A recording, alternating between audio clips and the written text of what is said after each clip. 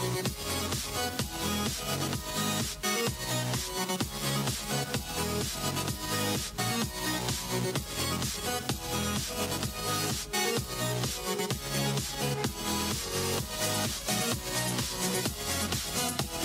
back.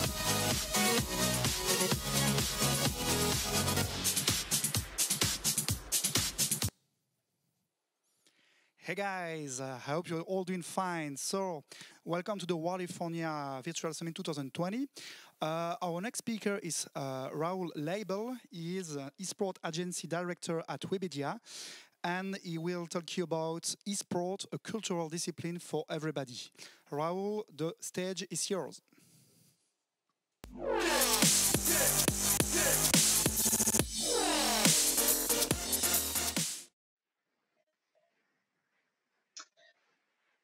Hello, everybody. Hi, everybody. I don't know if you hear me. I hope that everything is okay. Um, well, uh, it seems that we have some connection issues, so I hope that you um, you can um, good me. But uh, I, will I will uh, begin, and um, yeah, let me know if if you um, if you can uh, hear me or or, or think. So nice to see you all on this keynote. Um, I will. I, would, I wanted to share with you a presentation, but I think it will be complicated. So I will just speak and tell you um, and speak with you about esports. So uh, I introduce myself. My name is Raoul Leibel. Uh, I live in Paris uh, and I'm currently working for Webedia, uh, which bought my company about four years ago. Um, Webedia is one of the most important esports company in the world, and I've been um, uh, personally working in the sports industry for almost uh, eight years uh, now. Previously, I worked in different companies in the media sectors, um, radio, press, um, digital, and for the for the for the story, um, eight years ago, a friend called me proposing to start a company um, within in the world of esports.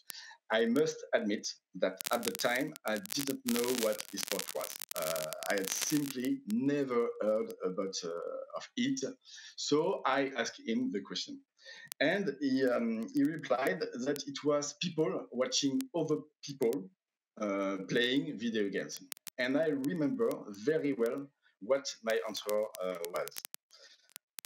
I don't understand the concept. Why people watch other people play video games. I just couldn't design the concept. So don't make fun because in 2012 there weren't many people who knew what um, esports really was. So, and it is for this reason um, that it seems to me very important um, that we can first of all clearly define what esports is.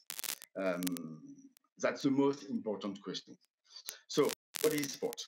Um, most commonly, esports means playing video games against one or more people in physical or online.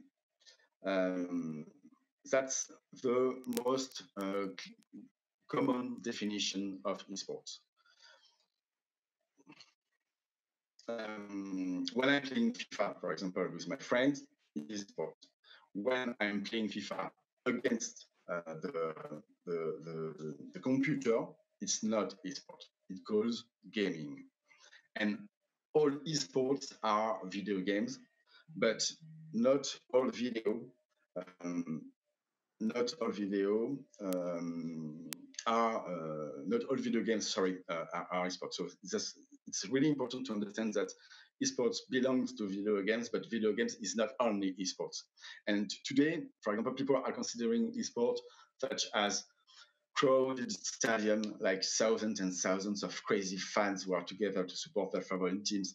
Um, esports um, are millions and millions of dollars of cash prize offered to the best teams, offered to uh, to, to the best players. Um, there is an example of, of, of the guy who, who, won more than $30 million in the Fortnite um, Worldwide Championships. So esports is all of this kind of, of images we can uh, every day uh, uh, see uh, in the in the medias, and, and uh, it's also a huge digital audience which um, which are revealing with with the best sport competitions today. Uh, just a little focus on the history. Esports is not so new. It began in uh, 1972 with Gameware. Um, it was a student event with uh, 24 students who played one again, won again uh, uh, each other to win a year subscriptions to the Rolling Stone magazine. And um, then we waited until the early uh, 2000s with uh, broadband, and it made it possible to start broadcasting competitions. Uh, but it was not so easy to find such a competition. The most important uh, moment was when um, Twitch was created, uh, 2011. And at this time, everybody could have access to the competition. And from this day, esport popularity um, never stopped growing. Uh, and that's the, the, the, the most important uh, date in the sport history was the creation of Twitch.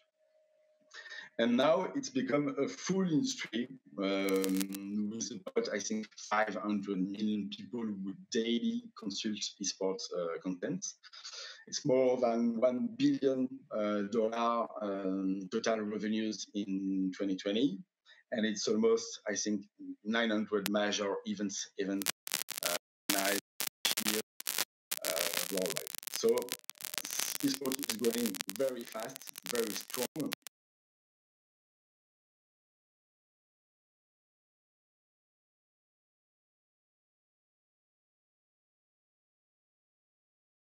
strong values like uh, innovation, like respect, like team spirit, like uh, yeah, leaderships and such a such value. And it's funny to see how the media have changed in a few years um, and their vision of gaming and esport. There is not a week um, without a major international media who is now dealing uh, with the subject of esports.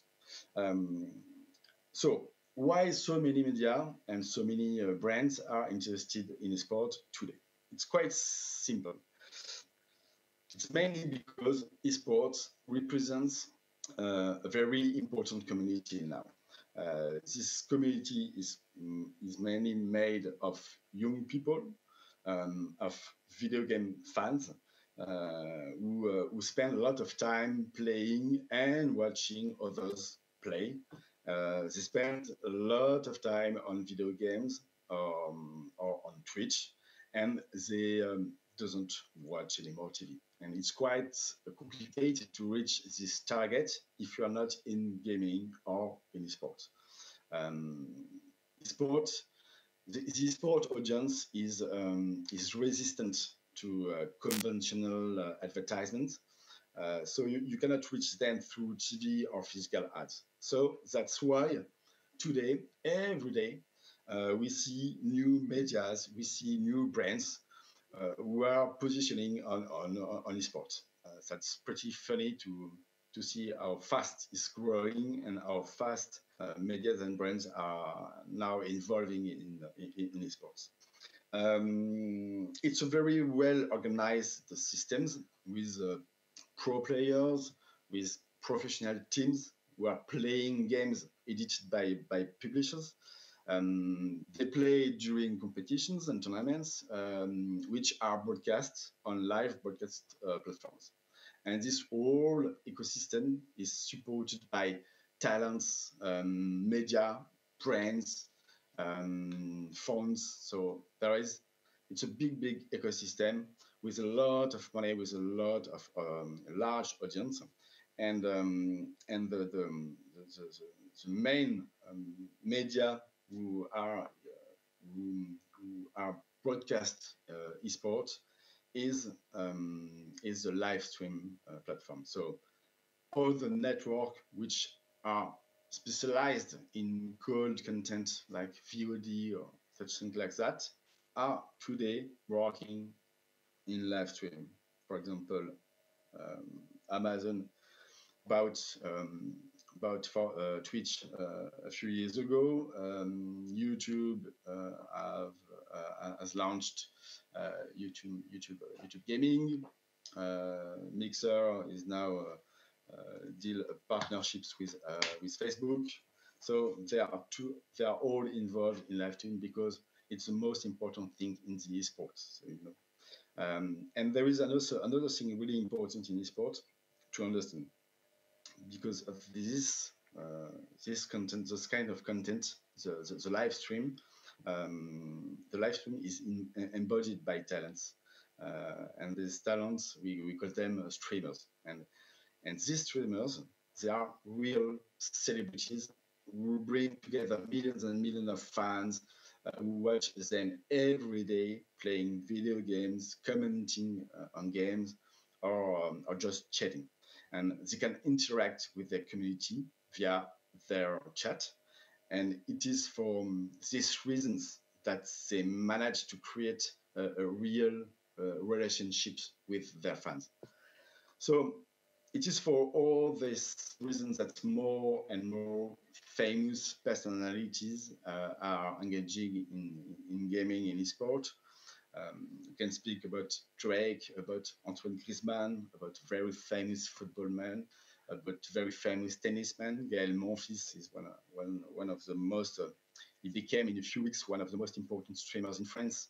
Um, it's funny because he decided to, to, begin to stream during the COVID crisis. And um, Gael is now one of the most powerful streamer in France.